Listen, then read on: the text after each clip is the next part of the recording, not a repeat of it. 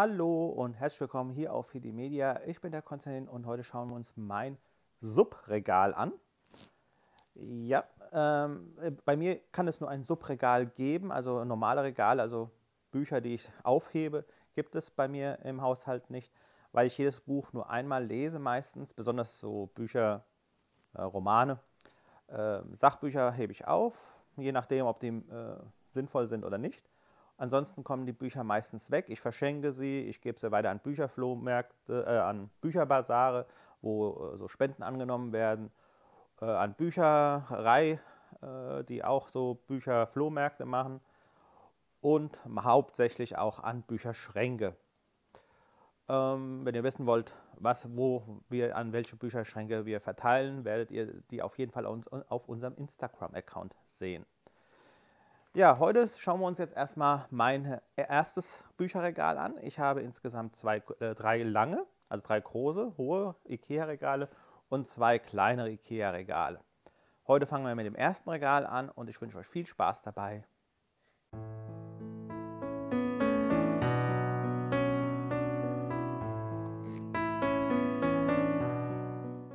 Kommen wir zum ersten, zur ersten Reihe in meinem ersten Regal ähm, hier in dem Video. Und zwar, wie ihr seht, habe ich hier die Reihe 1 bis 10 von äh, George R. R. Martin, das Lied Eis und Feuer. Äh, das Lied von Eis und Feuer. Das habe ich alles zusammen äh, über eBay äh, Kleinanzeigen bekommen. Da hat jemand seine ganze Fantasy-Reihe verkauft. Ich weiß gar nicht, welche Bücher ich hier auch noch von dem habe, aber ich habe eine Menge mitgenommen. Eine Kiste, glaube ich, eine ganze Kiste. Und das war dabei. Eins davon hat einen Wasserschaden war aber nicht so schlimm, das konnte ich irgendwie zufällig auch über den Flohmarkt auch wieder ergänzen. So, das nächste Buch ist von Ursula Posnanski, Erebos 1 und 2 habe ich hier. Rot und gelbes Cover. Ähm, ist eine Limited Edition, hat sogar einen Buchschnitt, das wusste ich gar nicht, in schwarz. Beides. Tatsächlich, das eine hat den roten Buchschnitt und das eine schwarzen. Gut, dann habe ich ähm, Maxim Chatam, Alterer, und zwar die Gemeinschaft der drei. Und ich finde, ich habe das aber ein reiner Coverkauf. Also ich fand das Cover so schön, wenn es so glänzt. Aber okay. Maxim Chatham, Alterer im Reich der Königin. Ich weiß noch nicht mal, ob das jetzt 1 und 2 in der Reihe sind. Können natürlich 2 und 3 sein. Dann müsste ich das erste irgendwo als E-Book oder so besorgen. Mal sehen. Und das dritte Buch ist von Tobias O. Meissner, Die Dämonen. Mal schauen, das äh, sagt mir noch gar nichts, aber ich bin gespannt. Ich habe es auf dem Flohmarkt auf jeden Fall neu ergattert. So, kommen wir zur zweiten Reihe hier in meinem Bücherregal. Ähm, fangen wir erst an mit der Michael Peinkover Reihe hier an. Verlorener Thron, Rote Flammen, Tote Helden und Tiefer Zorn. Ich glaube, Tote Helden ist das erste, ja genau. Die Legenden von Astray 1, ein reiner Fantasy-Roman mir haben die Pinecover sehr gut gefallen mit den Orks, waren gut und witzig geschrieben und ich erhoffe mir hier natürlich auch wieder äh, ähnliche Geschichten, also ähnlich witzig geschriebene Geschichten. Die nächsten drei Bücher sind äh, Kai, von Kai Meier, Die Wellenläufer, Die Wasserweber und Die Muschelmagier habe ich auf einem Bücherflohmarkt in einer Bücherei ergattert, wie man sieht hier. So, dann das vierte Buch, äh, das dritte Buch von Lockwood Co. von Jonathan Stroud. Die raunende Maske ist noch verpackt und genauso habe ich es für 1 Euro auf dem äh, Bücherbazar bekommen. Deswegen bin ich zweimal im Jahr auf diesem Bücherbazar, weil genau solche Sachen äh, dort zu ergattern sind.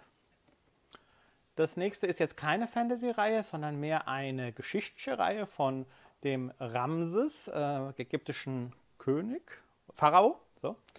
Ähm, hier die Jugendjahre, der Sohn des Lichts, der Tempel der Ewigkeit, die Schach Schlacht von Kadesh, die Herrin von Abu Simbel und im Schatten der Akazie.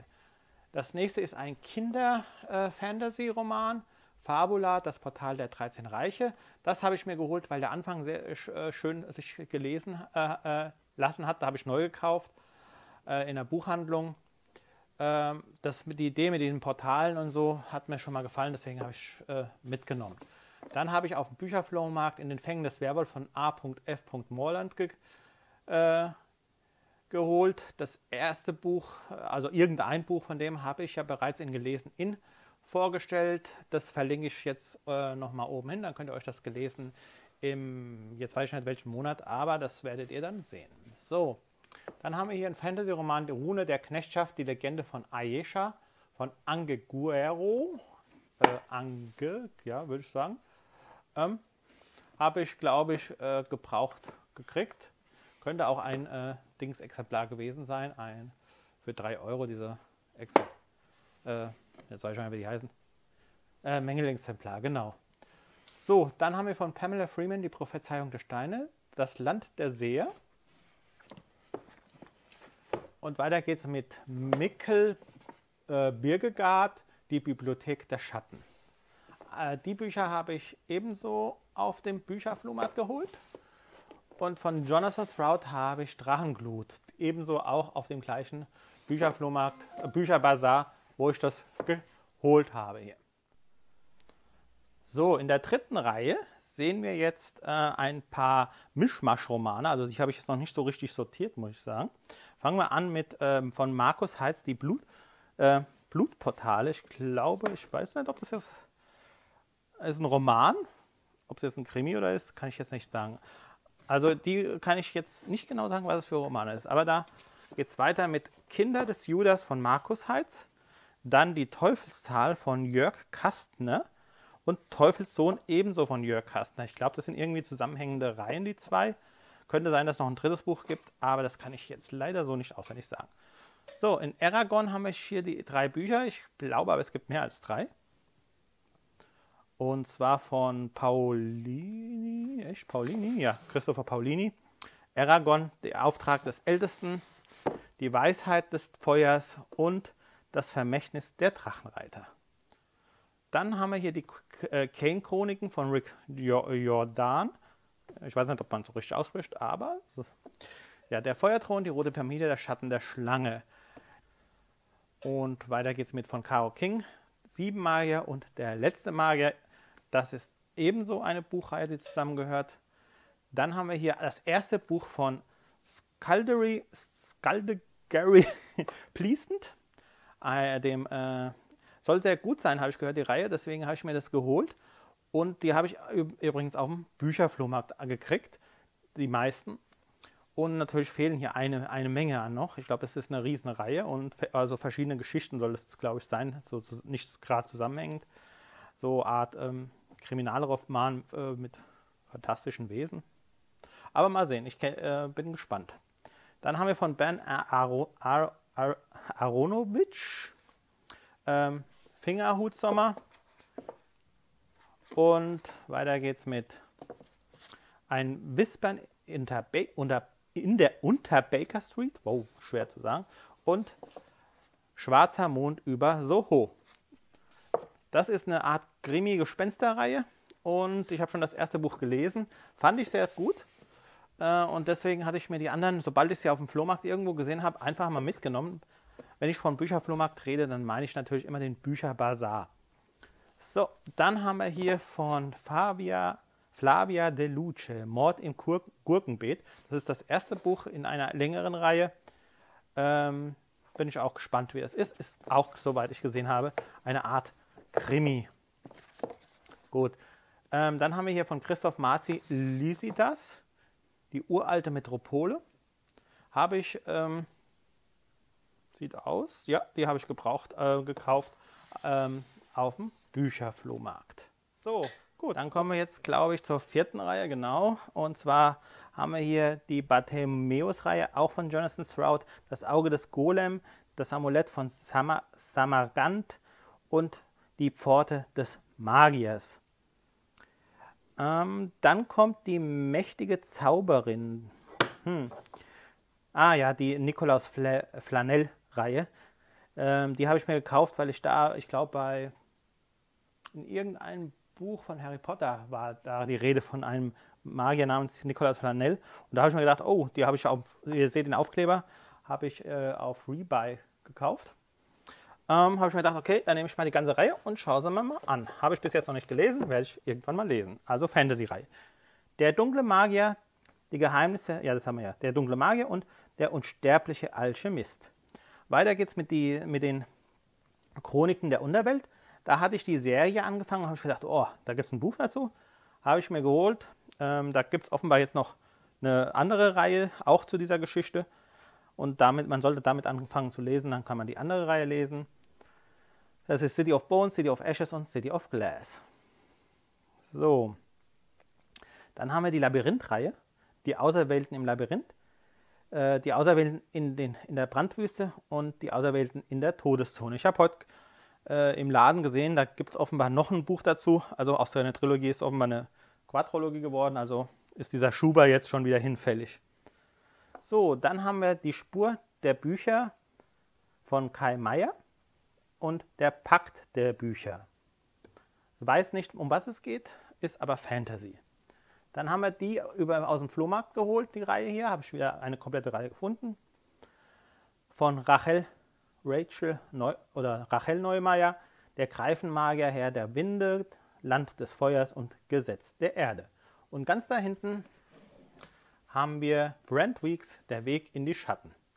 Ist, äh, wenn ich es richtig sehe, ein Ninja-Roman. Mal bin ich gespannt. So, kommen wir zur 1, 2, 3, 4, 5. Reihe in unserem Regal. Und zwar haben wir hier Richard Lehman, äh, alle, äh, viele Bücher von Richard Lehman. Die habe ich äh, einfach mal gesammelt, von einem Flohmarkt auf den anderen. Richard Lehman, das Grab. Ähm, okay, dann überspringen wir erstmal Richard Lehman. Ah, nee, die Insel, der Wald und die Show. Davor haben wir jetzt hier noch ähm, von Patrick Dune das Maya-Ritual. Also jetzt sind viele Thriller, so wie ich es sehe. Ähm, dann von James W. Nickel ausgesetzt, Psychothriller. Dann von Mark Allen Smith, der Spezialist. Dann äh, von David Morell, Creepers. Dann haben wir hier Scott Smith, das äh, nur Dickicht. Ja. Dann von Paula Hawkins, Girl on the Train. Und von Gillian Flynn, äh, Gun Girl. Das wurde mir empfohlen äh, äh, von einer Kollegin im Büro. Deswegen habe ich das äh, mir auch neu gekauft, wenn ich das richtig sehe. Ne, das habe ich auf Rebuy mal gekauft. Und Gun Girl ist ein Flohmarktkauf. So, dann habe ich Andreas Eschbach, der, der Jesus-Deal. Das ist der zweite Teil von, äh, äh, von Andreas Besch, äh, Eschbach mit dem Jesus-Video. Ähm, das habe ich gekauft, weil ich gespannt war, wie es weitergeht. Dann haben wir in fremden Gezeiten von Tim Powers. Das ist ein Piratenroman. Habe ich auf dem Flohmarkt entdeckt. Ich wollte mal was äh, mit Piraten lesen. Bin ich mal gespannt, wie es wird. Dann haben wir der 77. Grad von Bill Napier. Dann von Mark Ellsberg Blackout. Das habe ich angefangen momentan als Hörbuch, aber ich komme mit Hörbüchern nicht so ganz schnell schön weiter. Deswegen, ähm, naja, ist halt so. Dann, ich werde es wahrscheinlich eher dann lesen, sobald ich Zeit habe. So, dann kommt das Heim von Matt Strandberg. Dann haben wir Angel Island, mehrere Autoren, scheint äh, ach, eine Anthologie zu sein. Also wir haben da äh, verschiedene Geschichten. Dann haben wir Schimmer von Hilary Norman, ein Psychothriller. Dann haben wir hier von Preston Douglas Grado, das letzte Geheimnis. Ähm, weiter geht's mit Broken Dolls von äh, James Carroll.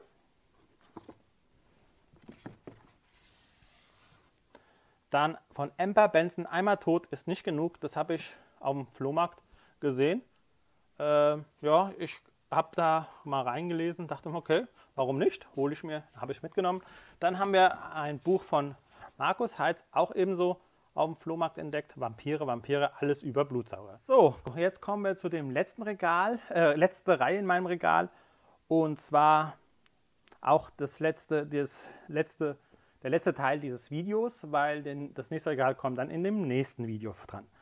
Wir haben hier die ganze Reihe von Terry Pratchett von Büchern für, von der mh, hm, äh, Scheibenwelt-Geschichten, die ich schon ewig in meinem äh, Sub habe. Ähm, ich lese immer eins, also ich lese die richtige Reihenfolge und komme halt entsprechend voran. Und natürlich habe ich mir irgendwann mal allesamt gesammelt. Wie ich das geschafft habe, weiß ich leider nicht mehr. Das ist schon sehr, sehr lange her aber die habe ich mir irgendwie alle mal zusammen ergattert. Und äh, wie in äh, einem, einem meiner aktuellen Videos, das verlinke ich mal, äh, das wird aber erst wahrscheinlich Ende des Monats kommen, da habe ich tatsächlich eine Kiste mit noch mehr Büchern von Terry Pratchett äh, gefunden auf dem Flohmarkt, aber mehr davon gibt es dann in dem Video. So, gucken wir einfach mal. Jetzt haben wir hier Terry Pratchett Heise Hüpfer. Ähm, dann haben wir hier von Terry Pratchett Drucker, Wühler, Flügel, die Nomen-Trilogie. Ach, sieh mal an, ich habe die Nomen-Trilogie. Gut, dass ich nicht gekauft habe. So, dann haben wir hier von Terry Pratchett Klonk. Da ist was dazwischen, das machen wir dann später. Dann haben wir von Tra Terry Pratchett Total Verhext. Rollende Steine, Macbeth, das ist übrigens das nächste Buch, das ich lesen werde. Da werde ich dann auch äh, im gelesen innen wahrscheinlich was dazu sagen können. Dann haben wir hier Terry Pratchett, das hat nichts mit der Scheibenwelt zu tun. Doch, nee, hat nichts mit der Scheibenwelt zu tun. Tralle Drachen. Dann haben wir eine Insel von Terry Pratchett, die Nachtwächter von Terry Pratchett und ein Misch, äh, ein gutes Omen mit Terry Pratchett und Neil Gaiman. Gaiman, ja. Ähm, dann von Terry Pratchett Helle Baden. Dann haben wir von Terry Pratchett Darwin und die Götter der Scheibenwelt. Und das war ah, wieder was dazwischen, das tun wir zur Seite. Dann haben wir von Terry Pratchett Maurice der Kater. Und wieder eine Mischung von, mit Terry Pratchett und Neil Gaiman, ein gutes Omen. Äh, von äh, Neil Gaiman gibt es ja dieses tolle Buch, wo es auch so eine Verfilmung oder Serie gab, mit so einem ähm, äh, Typ, der Weihnachten äh, liebt und die Kinder entführt. Kann ich nur empfehlen. So, dann kommen jetzt die Bücher, die dazwischen waren. Ich kann mir alles merken, nur nicht mehr so lange. Habe ich auf dem Flohmarkt entdeckt. Und ja, wollen mal sehen, was, wie es ist. Ist eine, ein Roman. Dann haben wir die Entdeckung der Langsamkeit von Stan Nadolny. Ebenso äh, hört, hat sich angehört, wollte ich mal anschauen, äh, wie das so ist. Ein normaler Roman. Dann haben wir hier von Markus Heitz Ritus, Sanctum ich glaube, das gehört zusammen, aber ich bin mir nicht sicher, das muss doch ein 3. Ist doch ein, äh, ja, das ist eigentlich eine Trilogie. Aber ich glaube, habe ich die oben schon gehabt, bin mir nicht sicher. Falls ihr irgendwelche Geräusche hinten hört, das ist der Hund, der spielt mit irgendwas. So, dann haben wir hier gut versteckt, äh, auch von Markus Heitz, die Mächte des Feuers. Äh, auch von Markus Heitz, Oniros, tödlicher Fluch. Oh, ist die Heizreihe hier. Und jetzt haben wir noch Markus Heitz, das Teufelsgebetbuch. Das habe ich neu gekauft. Ähm, ui, hat schon, oh, oh nein, Knick bekommen. So blöd. Na gut, dann haben wir die Uldat-Reihe von Markus Heitz. Hier, das ist eine Fantasy-Reihe.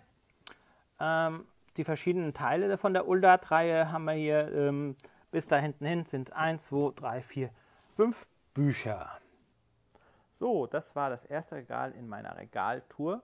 Ich hoffe, es hat euch gefallen und ähm, die nächsten Regale werdet ihr in meinen nächsten Videos dann sehen. Wir haben ja einige noch vor uns.